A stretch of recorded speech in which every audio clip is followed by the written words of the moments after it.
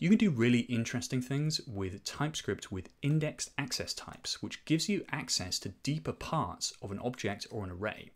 Here we're accessing the primary color just by passing in primary into this kind of like access point here.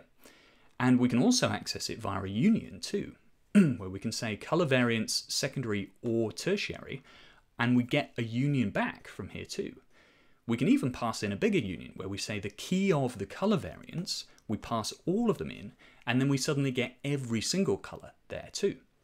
We can do the same thing with tuples, where we have this array of letters here, and then we have A or B, where we pass in an array of, or a union of numbers. And then we have letter here, which is now just a union of all of the numbers, right? So we get every member of the array back. Finally, we can do this with deep accessed objects and we can combine them. So here, a role is a user role config where we pass in a key of user role config, which accesses both user and superadmin, and then number here, which returns all of the members of each of the array. And you can imagine this going further and further down.